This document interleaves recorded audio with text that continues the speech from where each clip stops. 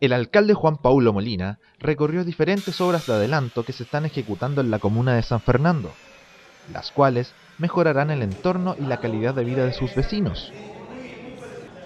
En la Villa Eduardo Barrios, donde se está construyendo una sede social para la Junta de Vecinos, la primera autoridad comunal informó sobre los avances de estas obras, que en las próximas semanas serán entregadas. Luego, la comitiva se dirigió a la calle El Roble para observar el trabajo que estaban realizando funcionarios municipales, consistente en la canalización del canal La Palma, logrando con ello evitar su destrucción y dando seguridad a los transeúntes y vecinos del lugar. Posteriormente, el alcalde se reunió con vecinos del sector Negrete con calle El Roble, ya que en dicho barrio se realizó el cierre perimetral de la plaza para seguridad de niños instalando juegos, obra que fue agradecida por los habitantes que llegaron al lugar. Hoy día hemos dado una vuelta que yo les quiero agradecer eh, la paciencia y el tiempo que se han dado en conocer algunas obras que,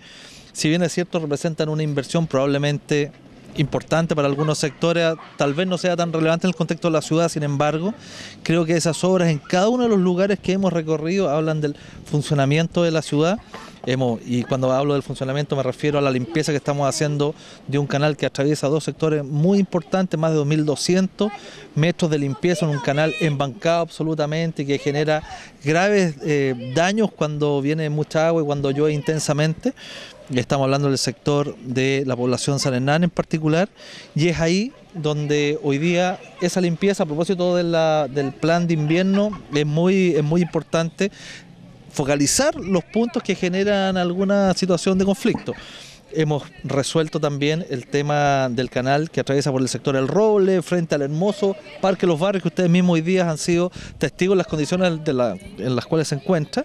Hay una inversión también muy importante, cercana a los 12 millones de pesos, que va dar seguridad y tranquilidad a las familias del lugar en términos del tránsito. Siempre tuvimos problemas con estas tapas que tapaban el canal hoy día hemos hecho una obra absolutamente distinta. Así también hemos visitado en la Villa Eduardo Barrio, la construcción de su sede que la próxima semana debiéramos tener eh, finalmente entregada a la comunidad, cosa que nos alegra mucho porque los puntos de encuentro de la comunidad son donde finalmente surgen las inquietudes y finalmente lo más relevante las soluciones para los problemas de diversos sectores. Yo hoy día aquí en Negrete con el Roble, donde teníamos un compromiso con los vecinos, pero particularmente con los niños que están por aquí cerca mío, en relación a cerrar esta plaza tenemos el compromiso de instalar un par de máquinas para hacer ejercicio para los vecinos del sector. Es un proyecto que ya hemos presentado, falta la instalación del arranque del agua, en fin. Pero ya vamos avanzando y creo que este cierre perimetral da mucha tranquilidad a los vecinos en consideración que la calle Negrete es una calle de alto flujo vehicular y por lo tanto representaba un gran riesgo y hoy día ustedes pueden ver la tranquilidad con que están los niños aquí, cosa que nos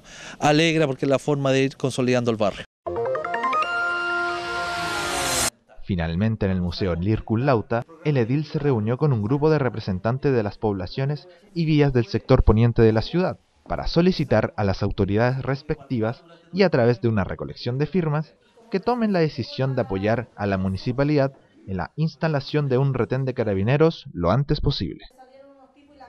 Mira, hace ya bastantes años que los vecinos del sector poniente han venido demandando con mucha insistencia y con mucha fuerza la necesidad de tener un retén de carabineros en el sector poniente. Primero,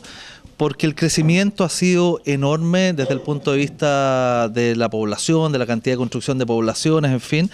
porque la incidencia o la sensación de temor ha sido una constante, porque este sector hoy día que ha tenido una inversión pública sumamente relevante en términos de la construcción de áreas verdes, de colegios, de jardines infantiles, de un cuartel de bomberos de verdad, el mejor de la ciudad, hoy día merita sin duda alguna, después de haber hecho una vuelta enorme con las autoridades policiales, con, los con dos subsecretarias, la subsecretaria Blanco y la subsecretaria Baum, una incluso estuvo en, la ciudad de San Fernando, es que luego ya de cuatro o cinco años nos parece muy importante apelar al ministro del Interior a través de una campaña pública, una campaña de mucho respeto, pero haciéndonos cargo también de una tremenda necesidad de carabineros. Primero por el cariño a la institución, por la confianza que genera en los propios vecinos, la necesidad que tenemos para enfrentar algún tipo de delitos y la confianza, insisto, la confianza de los vecinos y nuestra en la institución de carabineros.